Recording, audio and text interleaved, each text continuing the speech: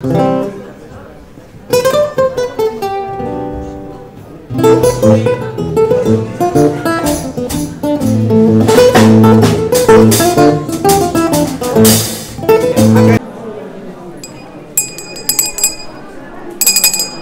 a tutte e a tutti, oggi è il San Martino dei Poveri e siamo qua insieme a tante belle persone ad ascoltare Francesco Maria Martorana che ci racconta le tradizioni siciliane. Perché l'abbiamo fatto per San Martino questo concerto? Dici picchi biscotti su buono, moscato chiossà. Sì, anche, però ci sono altre motivazioni.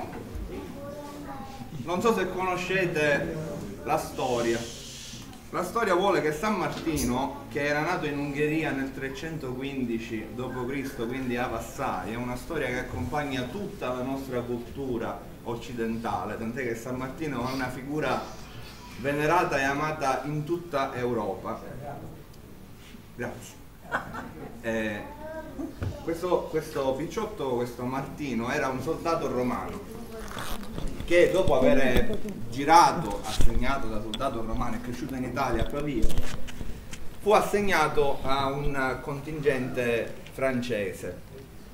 Lì avvenne fuori dalla città di Amiens l'episodio che eh, ha reso, ha, ha aperto diciamo, alla conversione del soldato romano al, al cristianesimo è, ed è l'episodio centrale di questa storia per cui oggi siamo qua. Fuori dalle porte della città c'era un freddo che si scattava, che era una cerimonia.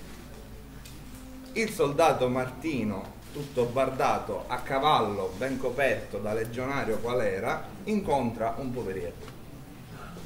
Buono ci parse esce a spada, si taglia il mantello e copre e offre, scusate, metà del mantello al mendicante. Che è successo? Aumenta il pubblicamente. Dico io che me l'hai vivere. Grazie. Allora, in quel momento si apre il cielo e spunto sole. Quella è la motivazione per cui lo spirito religioso popolare lega a questo episodio quella che ogni anno, intorno all'11 di novembre, giornata in cui ricade la festività di San Martino, che peraltro non è un giorno casuale, è il giorno dei suoi funerali, quindi non è una cosa inventata, grazie, oggi sappiamo dalla scienza, all'anticiclone delle Azzorre, ci sono un paio di giorni di temperatura più, più, più calda, la famosa estate di San Martino. Tutti abbiamo vissuto l'estate di San Martino, abbiamo sentito parlare da sempre, anche quest'anno l'abbiamo avuto perché se ci pensate, tre giorni fa non era cosa né sciridino. E invece, ora questa estate di San Martino chiaramente ha segnato nel centro di novembre, eh, ha ispirato poeti, artisti e segnava tutta la vita dell'agricoltura vitivinicola.